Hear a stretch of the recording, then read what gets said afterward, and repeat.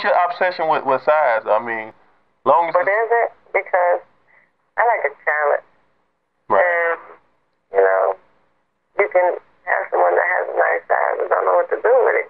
But that's that. I like to hear myself. So let me ask you this: Would you rather have somebody with a big size don't know what to do with it, or an average size and do know what to do with it? They can have it and don't know what to do with it. Because I like to ride anyway, so Do what okay. I do. Is there really a difference? I mean, can you really? I mean, forget what you're seeing, forget the visual of it. Is there really a difference between like two or three inches or whatever? yeah. Really? You can feel it.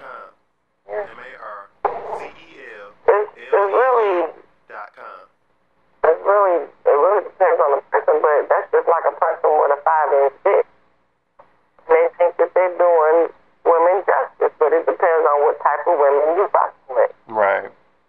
If you got a small ass, petite ass woman that can't take much, of course, maybe some small shit to be doing her just fine.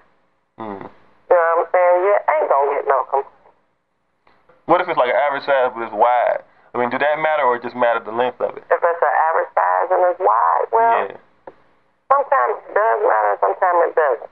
But you're looking more at, at the length of it, huh? Uh, I'm guessing you probably scare a lot of guys off the way you, uh, you know, the way you so picky with it, though.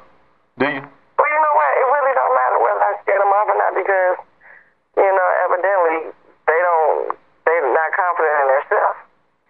So if he can lick it right, that don't even matter. None of that matter, huh? M-A-R-C-E-L Mm, not really, because I mean,